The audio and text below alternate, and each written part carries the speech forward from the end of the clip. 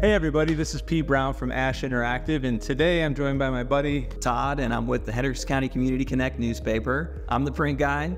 And I'm the digital guy. So, what brings a print guy and a digital guy together? Because most of the times our philosophies are butting heads. Pete and I are uh, paths had crossed, but only uh, over the phone. And I decided one day recently that I was going to stop in and get the face to face meeting with him.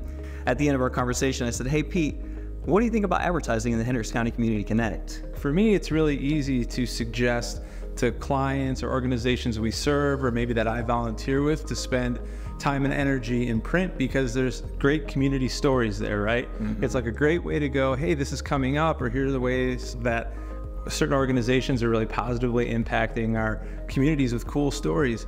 But as a marketing and content company, I've always felt like there's such a small amount of people that actually want to hear from me. Like, what is the point? So, what we decided to do is that Ash Interactive is actually going to have a 10 month, so once a month, ad run with Todd and his team. And what we're going to do is we're actually going to experiment with some different designs, some different text, some different colors, and as we shape our ad, we're also going to include a QR code in that.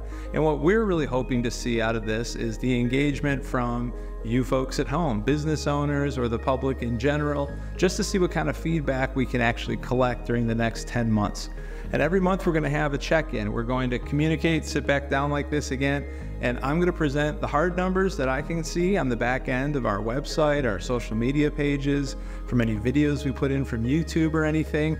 And then Todd's going to jump in with any anecdotal pieces. I also wanted to make this educational. So if you're a business owner, you're wanting how do I make a good ad, right? What's going to attract attention? What's important in terms of my call to action or even the layout of the ad and these different things that we do a lot of research on. And I think that we're going to agree a lot on those different ideas.